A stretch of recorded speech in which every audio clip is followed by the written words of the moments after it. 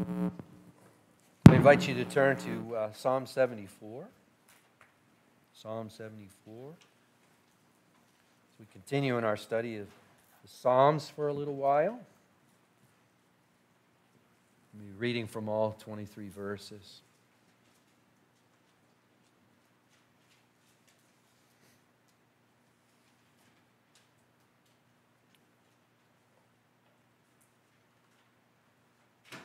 Psalm 74, verse 1 O God, why do you cast us off forever? And why does your anger smoke against the sheep of your pasture? Remember your congregation, which you have purchased of old, which you have redeemed to be the tribe of your heritage. Remember Mount Zion, where you have dwelt. Direct your steps to the perpetual ruins. The enemy has destroyed everything in the sanctuary. Your foes have roared in the midst of your meeting place. They set up their own signs for signs they were like those who swing axes in the forest of trees, and all its carved wood they broke down with hatchets and hammers. They set your sanctuary on fire. They profaned the dwelling place of your name, bringing it down to the ground. They said to themselves, We will utterly subdue them. They burned all the meeting places of God in the land. We do not see our signs. There's no longer any prophet, and there's none among us who knows how long. How long, O God, is the foe to scoff? Is the enemy to revile your name forever? Why do you hold back your hand, your right hand? Take it from the fold of your garment and destroy them. Yet God, my King, is from of old, working salvation in the midst of the earth. You divided the sea by your might. You broke the heads of the sea monsters on the waters. You crushed the heads of Leviathan. You gave him as food for the creatures of the wilderness. You split open springs and brooks. You dried up ever flowing streams. Yours is the day, yours also the night. You have established the heavenly lights and the sun. You have fixed all the boundaries of the earth. You have made summer and winter. Remember this, O Lord, how the enemy scoffs and a foolish people reviles your name. Do not deliver the soul of your dove to the wild beasts. Do not forget the life of your poor forever. Have regard for the covenant, for the dark places of land are full of the habitations of violence. Do not let the downtrodden turn back in shame. Let the poor and needy praise your name. Arise, O God, defend your cause. Remember how the foolish scoff at you all the day. Do not forget the clamor of your foes, the uproar of those who rise against you, which goes up continually. Let us pray. Heavenly Father, we do thank you for this reading of your word. We thank you, Father, for your word which instructs us. And Father, we ask, O oh Lord, that you be pleased to teach us from your word this morning, that you'd be pleased, O oh Father, to bless us through the instruction that's herein. And Father, we pray for the work of the Holy Spirit to line our hearts, O oh Father, that we may think these thoughts after you. In Jesus' name we pray. Amen and amen. Of all the books in my library, it's quite a few books. I need to purge and really make some shelf space for other things. But in all of the books in my library, I have to say that one of my favorite books is this little book right here by uh, Dietrich Bonhoeffer, which I picked up recently. I picked it up over Christmas. Found it at Barnes and Noble. It was wonderful to see this um, on the shelves um, as I was looking through the the religion section. Um, it's rough. Um, Christianity section is rough, um, and uh, this was a, a, just a great gem. This was um, originally published by Dietrich Bonhoeffer in the German language in 1940, and then it was translated into English in, um, I think, 73 or 74. And what it, it's entitled Psalms, the prayer book of the Bible. And what Dietrich Bonhoeffer is doing is he's, he's calling people to, to, to return to praying through the Psalms. And, and someone might say, well, that don't sound like anything new. I mean, it's a spiritual discipline that probably most of us are familiar with. And maybe some of us make a habit of doing, or we say we're going to start doing it, and at least we start for a while. Um, we do fall off the wagon once in a while, don't we? Um, but some of the insights here, and of course, Dietrich Bonhoeffer is really, I, I, don't, I think most of this work actually is really standing on the shoulders of Martin Luther, who loved music and understood the importance of and place of the Psalms in the life of the Christian, and how uh, Luther would often point how the Lord's Prayer is related to the Psalter and how the Psalter is related to the Lord's Prayer, where the Lord's Prayer is a summation, if you will, of the Psalter. And, and uh, Bonhoeffer brings this up. And, And it's not so much that this little book has a bunch of nuggets in it as this little book teaches you where you find the nuggets in the scriptures. And it's a great little work. And one of the things that I so appreciated about this um, work, it's an easy read, it's a short read. And one of the things that I so appreciated about this was Bonhoeffer pointed to the fact that oftentimes when we want to pray through this, the Psalms, we'll spend time rooting through the Psalter, looking for a psalm that seems to reflect the mood we're in or the particular circumstances that we're in. Some of you are smiling. You're like, yeah, that's how it goes. And you know, too often it's the case you exhaust all your time for prayer looking for some psalm to pray through. And, and, and what, what Bonhoeffer is saying, don't do that. Don't do that. Start with Psalm 1. Do Psalm 1 today. Do Psalm 2 tomorrow. Or when you come to shorter Psalms like Psalm 23, do Psalm 23 and 24 in the same day so that you're working through the Psalter um, once, preferably maybe twice a year, to where you're really taking in uh, the prayer book, if you will, of the Bible. And this is really um, how the Lord teaches us uh, to pray. And I thought that was a wonderful insight. And what else I thought was okay, uh, Bonhoeffer's writing in 1940. It's published in 1940. He could have been writing in the late 30s, for all we know. And he's speaking of a problem that existed in Europe in the late 30s, early 40s, and the problem's still with us now. And I think that's really interesting. Um, so, okay, we're going to start with Psalm 1. We're going to pray through the Psalms sequentially. What do you do when you get to Psalm 74? You know, I was thinking of this. What does the mother of three do when she's praying through Psalm 74? Um, what's Psalm 74 all about? Well, it's a, a community lament. Why do we know it's a community lament? Notice the pronoun in verse 1. Oh God. It doesn't say, Oh God, why do you cast me off forever? It says, Oh God, why do you cast, cast us off forever? So we have a singer who is a representative of guess what? A congregation. We have the word congregation in verse 2. Here's that word congregation. That's the assembly. It's what we were talking so much about last week the importance of gathering. You know, when, this, when the translators, the Greek translators came to this uh, to translate the Hebrew into, into Greek, um, they translated the Hebrew, uh, which we have congregation from, uh, with the word synagogue, which is the word we get synagogue from, which is interesting. A synagogue is a place where worship takes place, it's a gathering, it's an assembly. And here the singer is representing the gathering. It's representing the assembly. It's representing the people. And he says, Why do you cast us off forever? It's a lament, it's a community lament. But what is it lamenting? It's lamenting a national catastrophe. What national catastrophe? The destruction of the temple. So, back to my question what does the mother of three, or the father of two, or the father in some cases of ten, we know a father of, ten, I think 10, right? I think we know a father that's got 10 children. Um, how, does, how do we pray through this psalm? What does a national catastrophe that involves the complete destruction of the temple, uh, how does that speak to our situation today? What truths are, are universal? What truths are timeless that would come from this psalm that, that could coach our prayer life? And that's what I want to take up this morning. Does that make sense? And I think as we simply go through the psalm and begin to explain the psalm, I think a lot of these questions are going to get answered. So let's look. Notice in verse 1, the psalmist says, Why do you cast us off forever? Why does your anger smoke against the sheep of your pasture? Now, the reader of the Old Testament, especially if we're familiar at all with the book of Deuteronomy and sees the language smoking, anger smoking, um, that sounds like breaching the covenant, doesn't it? It sounds like God's response of breaching the covenant. You can think of Deuteronomy 28, where there's covenant blessings and covenant curses that are spelled forth there. And of course, running behind us. Why has God allowed the temple to be destroyed?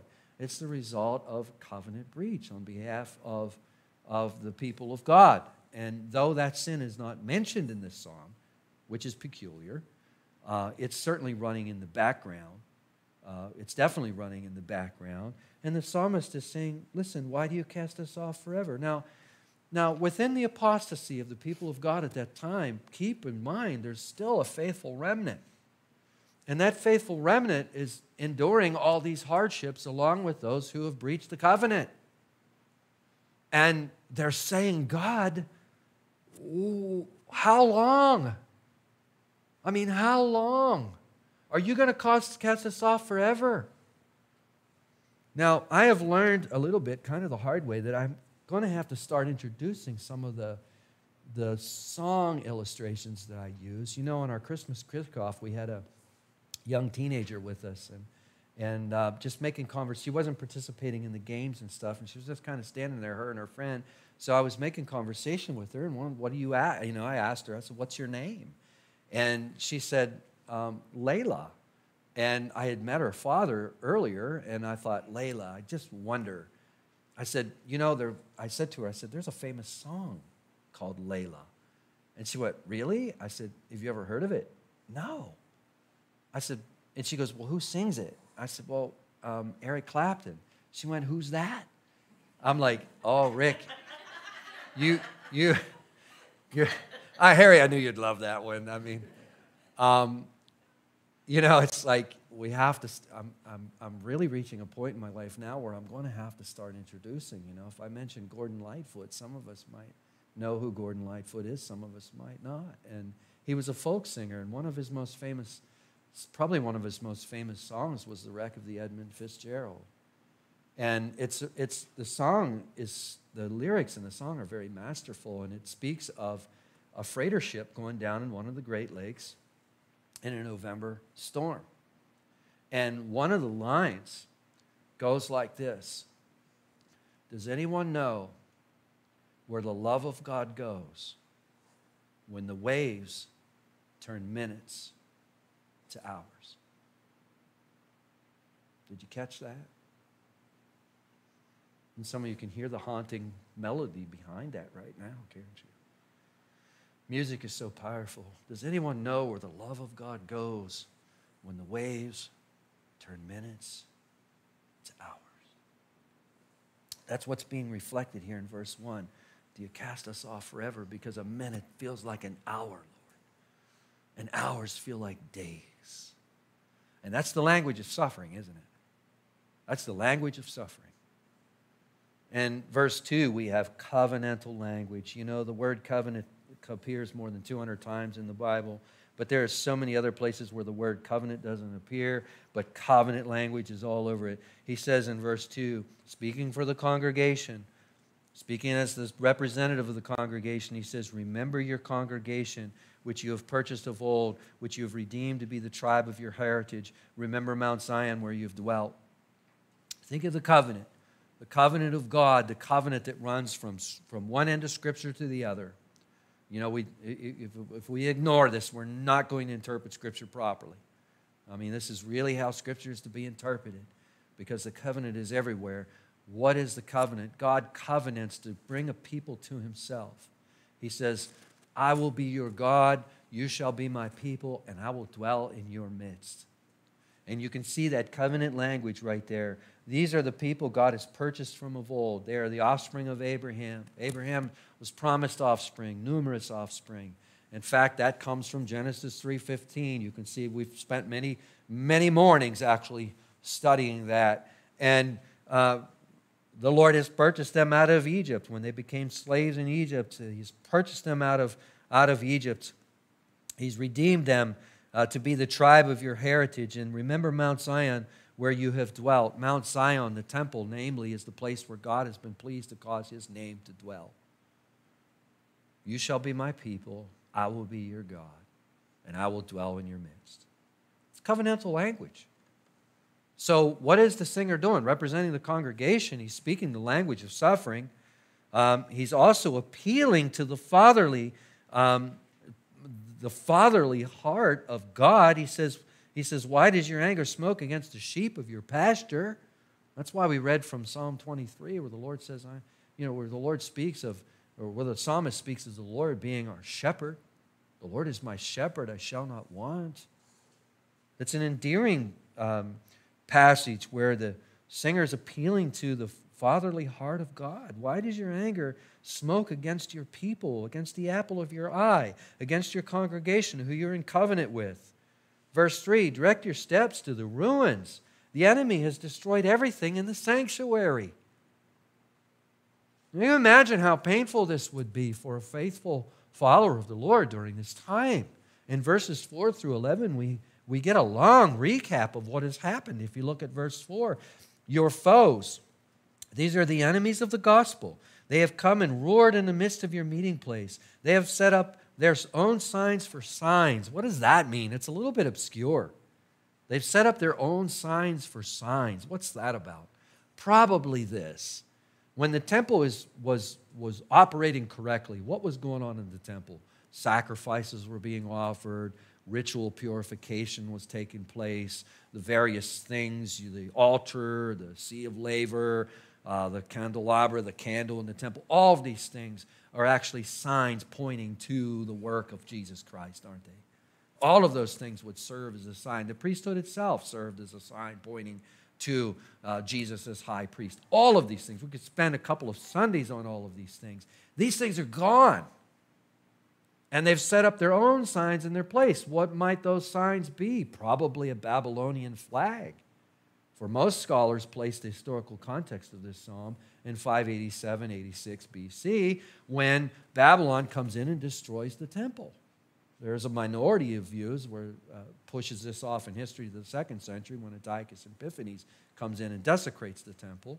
Uh, less people uh, would I, I, you know, would have that view, but I don't think it matters because it speaks when this happens any time. We can see that it's timeless. Um, but I think the historical context is, is probably the 587, 586 BC. Under the leadership of Nebuchadnezzar, Babylon comes in and destroys uh, the temple. And they probably set up their flag, showing their superiority, showing their sovereignty. And they probably brought in, brought in various insignia of their pagan gods and they're bringing them in. Imagine somebody coming in and sacking this place and then bringing in all of their, uh, their other things, uh, you know, bringing in the various signs of the world's religion and posting them all over the place in here. That's what's going on. In verse 5, they were like those who swing axes in a forest of trees, and all its carved wood they broke down with hatchets and hammers. Well, this is, this is barbarous that's taking place here.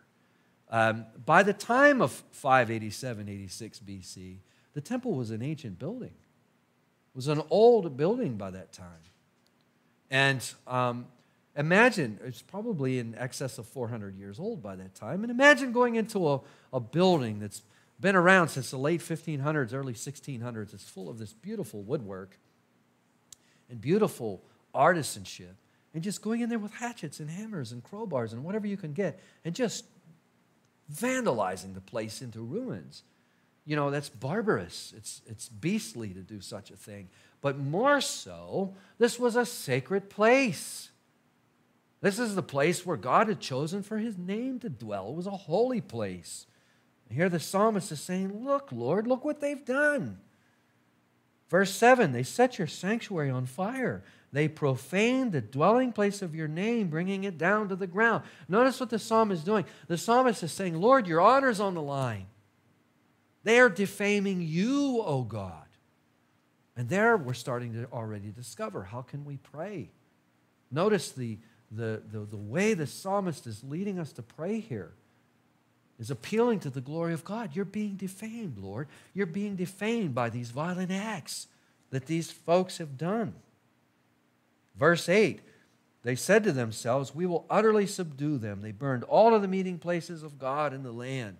Well, here we see it's one step further. It's not so much just to vandalize the temple, it's not so much to burn the temple to the ground, but they're trying to snuff out worship services wherever they're going. You know, from the prophets, we learned that there were services held after the temple was destroyed. And these services probably utilized Psalm 74 as for its liturgy. And here the enemy is trying to stamp out these services so that there is no worship being offered to the Lord our God. Now I think we're starting to really see how we can pray this song. Because I think already we're saying, you know, the more things um, change, the more they stay the same, don't they? Now, look at verse 9. Verse 9 is so interesting. We do not see our signs. Okay, those signs have been taken away. But then, he's, then the singer says, There's no longer any prophet, and there is none among us who knows how long. One of the um, sorest aspect, I think, for the faithful during this time is the fact that God went prophetically silent during that time. I mean, you have Ezekiel, you have Jeremiah, you have a few others, but they're carried away. So now there's no prophet. What is the role of the prophet? The role of the prophet would have been to give a word from God to the people. And what would they what would you want to have? You'd want to know how long. Lord, when are you going to restore this thing? They'd want to know how long. But another role of the prophet, and this is this is the everyday nuts and bolts role of the prophet, is to proclaim the word of God that has already been given. We need to understand that. And someone said, well, wait a second. So, what are you saying? They weren't teaching the Bible. No.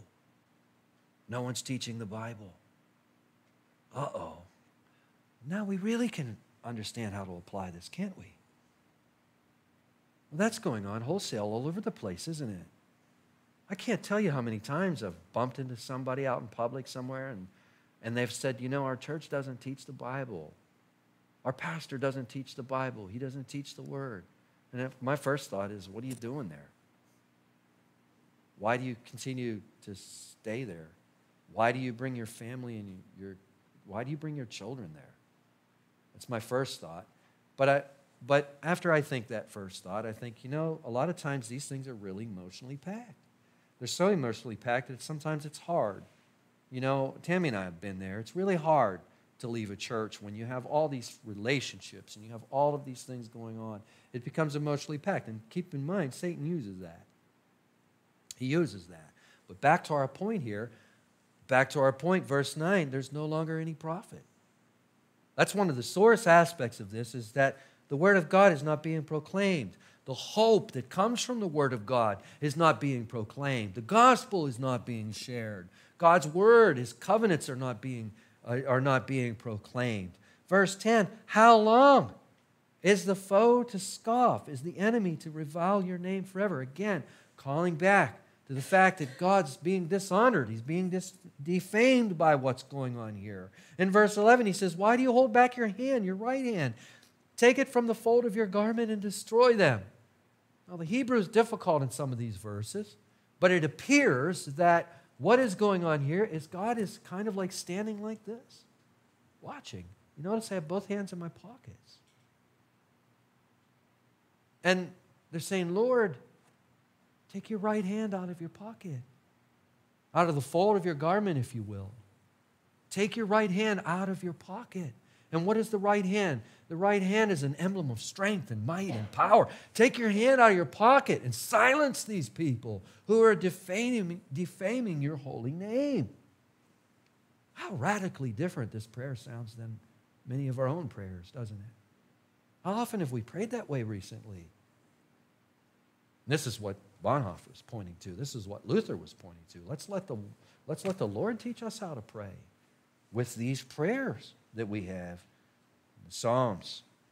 Now, in verse 12 through 18, we have the singer giving way to a hymn. You see the word yet in the ESV, the word yet there in verse 12. It's like the psalmist is bringing his lament before God, he's describing what has happened, and then he's like, all right, let's set this aside, let's go back to the basics. Let's get back to the basics here. What are the basics here? Verse 12, yet God my King is from old, working salvation in the midst of the earth. In other words, my God is a Savior. Lord, you have shown yourself. Your resume is chock full of the fact that you are a saving God. You are a Savior, Lord. You're a Savior. So he's filling himself full again, if you will, of the things that he knows about God. Verses 13, 14. You divided the sea by your might. You broke the heads of the sea monster on the waters. You crushed the heads of Leviathan. You gave him his food for the creatures of the wilderness. Now we say, wow, what is the mother of three praying in these lines? What has a sea monster got to do with teenagers in the home? Well, some of us might answer that right away. these are like these are land monsters versus sea monsters. Uh, Tammy, I hope you don't mind me saying it, but she used to say that kids should go from 11 to 25. Just go from 11 to 25. We mean no disrespect to any teenagers here, but just go from 11 to 25. Tammy has since revised that from 11 to 40, I think, is the current revision, um, with probably more revision to come. just all joking aside, you know, um, what is this language of sea monsters and this language of Leviathan? What is all of this? Well, scholars, are, scholars divide. Some scholars will say, and some of your study Bibles will say, well, this points to Pharaoh. Pharaoh is destroyed in the Red Sea. And Isaiah comes out and calls Pharaoh a dragon, if you will, a dracon. Um, uh, other translations could say sea monster. Uh, there, was, uh, there are other scholars that say, no, what this is pointing to is this ancient folklore in the ancient Near East that was, that was heralded by um, uh, pagan philosophy and pagan religion that described these uh, seven headed sea monsters that were always warring with the false gods, if you will. They didn't call them false gods, but they were at war with the gods, if you will, lowercase g O D S. And they were constantly at battle. And the seven headed sea monster represented evil and chaos. And the gods were always fighting, always fighting. But I think what, what, what we have here is this constant battle, but the gods are never winning. And um, the scriptures pick this up. I mean, just as I've used Gordon Lightfoot's lyrics of the wreck of the Edmund Fitzgerald, uh, the, the, the singer's picking these, these popular things up. And what is he, what is he saying? The, the meaning of this text is that um, God is might is such that he can destroy any foe that comes up against him, even these so called seven headed sea monsters, if you will. But they go one step further. Scripture actually goes further to re- describe folks like Pharaoh as one of these dragons, if you will uh, as one of these dragons. So I don't do the either or. I don't argue back and forth because I see how so easily both can be the case here. This idea of dragon and sea monster is not coming out of a vacuum, it's coming out of culture. Now, how does mom pray for this? Well, that's why we read from Revelation chapter 12. The angels make war with who? With Satan.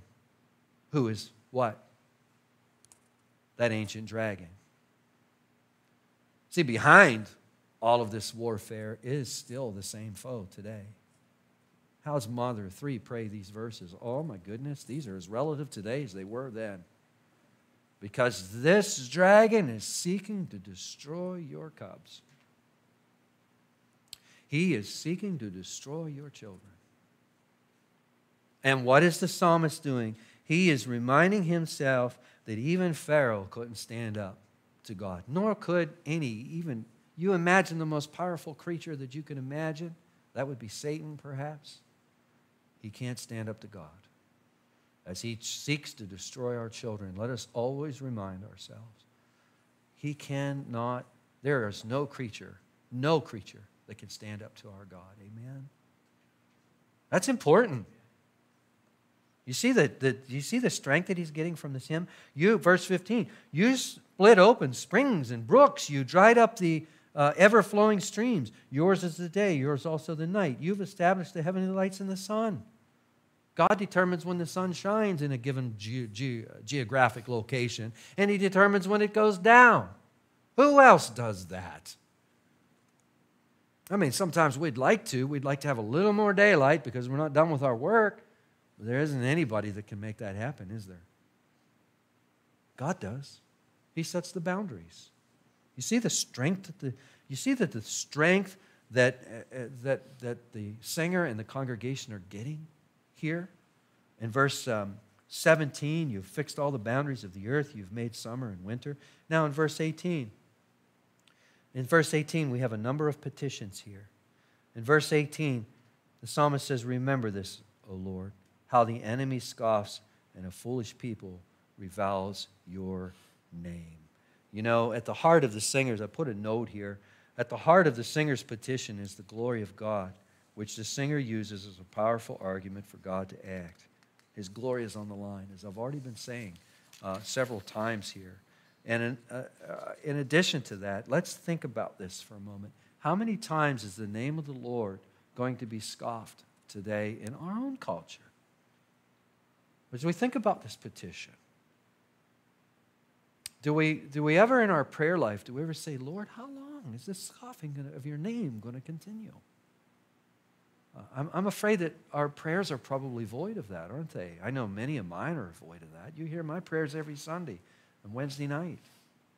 But how long is it going to continue? How long is Jesus' holy and precious name going to be continued to be pushed through the dirt as it is done day in and day out?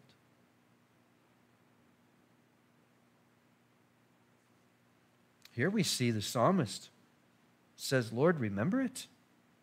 A foolish people reviles your name. You know, where's foolish coming from? The fool says in his heart, there's no God. Doesn't he? The fool says in his heart, there is no God. Verse 19, do not deliver the soul of your dove to the wild beasts. Notice they're referred to as wild beasts. Now, there's a distinction we need to make when we're studying the Psalms. Because some of us say, wait a second, how do we, how do we, how do we pray like this with the words of Jesus on our lips that we should pray for our enemies? How do we keep both of those together? Well, we're to do both. We're to pray for our enemies, but who is the ultimate enemy here? The ultimate enemy here is the one who is never going to come to faith and repentance, who is going to push back against God until the very end. We don't know who those people are. We don't. But that does not change the fact that God is being defamed. We need to keep both of these together. This is not an either or thing. You see, it's a little more complex than that. We want to pray for the salvation. You see, the scoffing stops two ways. One, with the destruction of the enemy, of course. But two, and more importantly, with his or her salvation. Does that make sense? So, first and foremost, we want to see people come to faith in Jesus Christ, don't we? Then the scoffing stops, doesn't it? But until then, God's name is being drugged through the dirt. A foolish people reviles your name. Do not deliver the soul of your dove to the wild beast. Do not forget the life of your poor forever. Notice how the psalmist, speaking, the singer speaking for the congregation, they refer to themselves as a dove. Imagine a dove just sitting in the forest surrounded by a pack of wolves. What chance does the dove have? You know, it's a picture of humility. It's a picture where, you know what, Lord, in the midst of this, these foes are so powerful. I'm like a dove in the midst of a pack of wolves here. Now, how does the mother of three pray this line? Guess what? We can't always be everywhere our children are, can we? We can't be everywhere our children are at. We can't protect them from everything that we'd like to protect them from. Sometimes we fall in, in where we think we're going to do it. And if you think you're going to do that, you're, you, oftentimes you're going to end up becoming controlling and you're going to make yourself and you're going to make your kids a big mess because you just can't. The psalmist is leading us here. We're like doves, especially in the world's eye. We seem to be so powerless.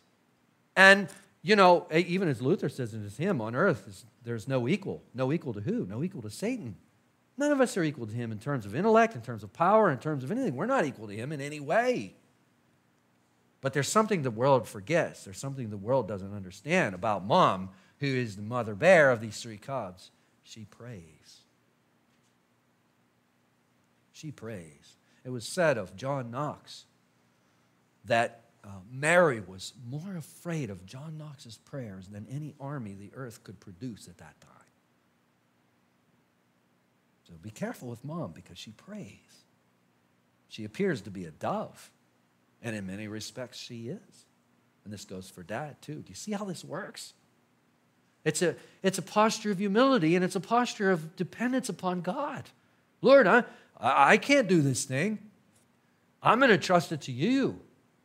And I am going to entrust that you are working in the lives of my children, you're working in the lives of my family, whatever that problem might be. This, Lord, do not deliver the soul of your dove to the wild beasts. Suddenly, this prayer becomes alive. Suddenly, I'm like, I feel like I could pray this now. Well, go ahead, I won't mind. Bow your head and pray because this is really powerful stuff. Do not deliver the soul of your dove to the wild beast. Do not forget the life of your poor forever. Look at verse 20. Have regard for the covenant, for the dark places of the land are full of the habitations of violence. As I recall in 1985, when we went on our senior trip, we went into the airport, we tossed our baggage on the little gizmo, and we walked right straight onto a plane. Could you imagine that? Say what? I don't remember any TSA agents being there at all. I just don't. Maybe they were, I don't know, but I don't even remember a wand going over us. Uh, Seems to me, my memory could be wrong. It was a long time ago. But we walked into the airport, we tossed our baggage off, we got straight on the plane. Now, some of you would be like, what? Well, this, these United States have become much more dangerous since then. Progressively so. So much so that what do we see on the news almost all the time? We see a shooting almost all the time. Look at this verse. The land the dark places of the land are full of the habitations of violence. That's one of the things that's causing so much anxiety today. We can sit and worry about this, but the fact is, that worrying is not going to change it a bit. Or we can choose to put our faith and our trust in the Lord. We say, Lord, you're the only one that can protect us.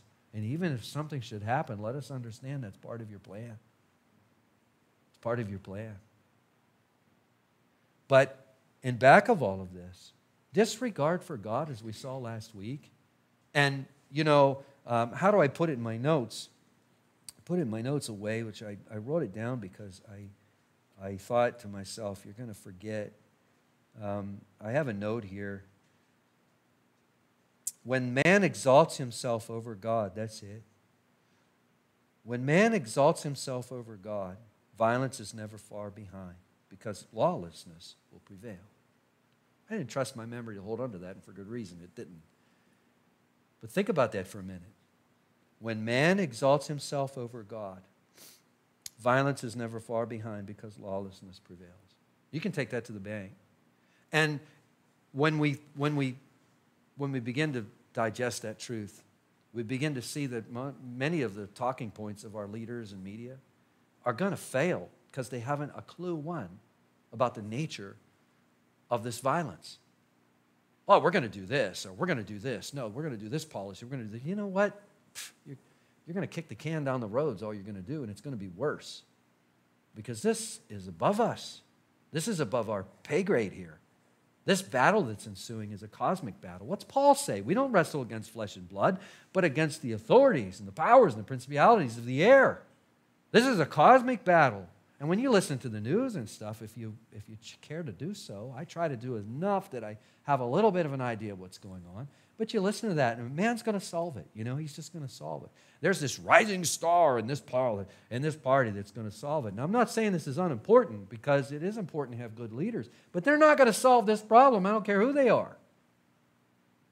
The only one who can solve this problem is the one who has solved this problem, and it's Christ. So, any remedy that we try to prescribe to our culture that is without Christ is going to make it worse. It's not going to make it better because we are exalting our own wisdom, we're exalting our own understanding, we're exalting ourselves above God's written word, aren't we? That will always be the case. A couple more things and I'll wrap up. Look at verse 21. Do not let the downtrodden turn back in shame. Let the poor and needy praise your name.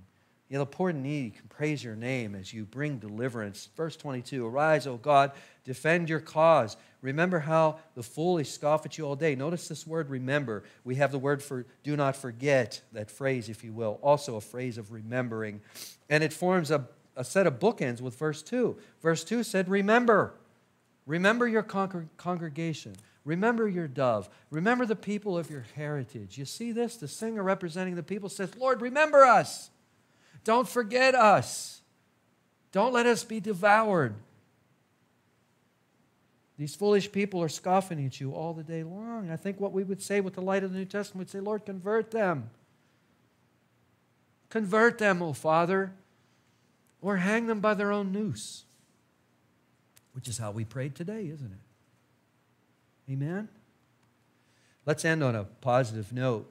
This great hymn in verses 12 through 18, I think is the hymn that we want to really leave here today with. Our God is powerful. Our God is a Savior. There is no foe that can run up against him and destroy him. There's no foe that can run up against him and destroy what he is doing, regardless of what it appears to, to look like. Amen? Heavenly Father, we thank you, Lord, for this great psalm. It's lengthy and it requires a lot of mental energy to get through. But Father, I trust that, Lord, you'll cause these words to reverberate in our hearts, that next time we turn to it, Father, we may see how we can pray these things and how these things are so relevant to uh, us all. We are not theocratic Israel. We are not Israel in covenant with you by way of the Mosaic covenant. But Father, we see the principles and the truths of this psalm and how they, they apply to your church. And we think, oh, Father, of your church. There's so much that could be said about your church, Father. You know, many of our churches today look like civic centers and are seem to be much more after the thumbprint of a Fortune 500 plan than the churches of old, which were beautiful and they they they really projected the holiness and majesty and awe of our God. Oh Lord, help us, oh Lord. For we see that today, Lord, there's many places where your word is not taught. We see, Father, we could go down through all, all day long and see how this psalm applies. We can see how it applies to parenting, Father.